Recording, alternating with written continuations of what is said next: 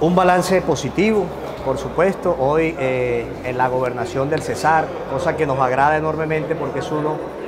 de los grandes aliados de este maravilloso proyecto. Hoy nos encontramos desarrollando nuestro tercer call en compañía de la gobernación, del ministerio, de la alcaldía, del CPC y por supuesto del APC, con el equipo técnico eh, de sus directores que hoy presentan su plan de trabajo eh, lo que tiene que ver con esta primera fase de planeación, por supuesto haciendo la proyección de 2025 y lo que será la ejecución del 2026. Eh, una sesión cargada de información,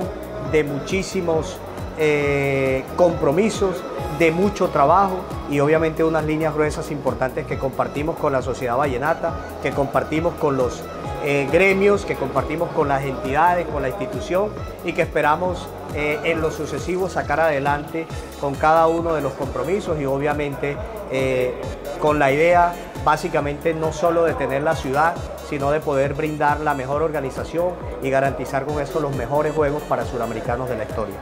terminamos la, la, etapa de planeación, hoy estamos socializando con todos ustedes eh, precisamente estas líneas que subyacen de cada una de las subdirecciones. Eh, aprobamos cada uno de los planes de trabajo por su dirección e iniciamos eh, obviamente la tarea y el trabajo práctico en cada una de las áreas. Es un trabajo arduo,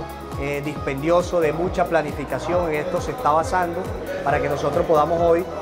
construir presupuesto, entregarlo el próximo mes en el COCON y a partir de ahí simplemente comenzar a desarrollar todo en materia y de manera práctica. Primero, eh, un mensaje de, generación de conciencia. Yo creo que nos acostumbramos a, adelantar, a ser espectadores, actores activos, eh, en muchos casos actores pasivos de eventos deportivos eh, de deporte olímpico convencional. Y esta es una oportunidad maravillosa para que los vallenatos, los cesarenses, la región en general y el país, por supuesto, eh, comience a comprender cómo funciona el deporte paralímpico. Tiene unas, eh, unos valores agregados, unas diferencias enormes que yo creo que en la medida en que los comencemos a descubrir, nos los vamos a meter un poco en el corazón, vamos a despertar esa, esa sensibilidad oculta que tenemos y obviamente a despojarnos de, la, de las indiferencias también subconscientes que tenemos con relación a las personas en condición de discapacidad, de movilidad reducida y vamos a lograr entender que ellos en ocasiones son mucho más capaces que nosotros, que eh, estamos casi que con las facultades completas. Es una, es una inmersión en un campo novedoso para los vallenatos, eh, para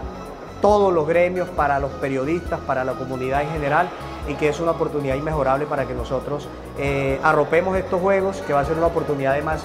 única para el deporte internacional porque es el único evento, entre otras cosas, de este cuatrenio y de este nuevo ciclo que inicia a partir de la finalización de París 2024 para los próximos Juegos Olímpicos y Paralímpicos del 2028.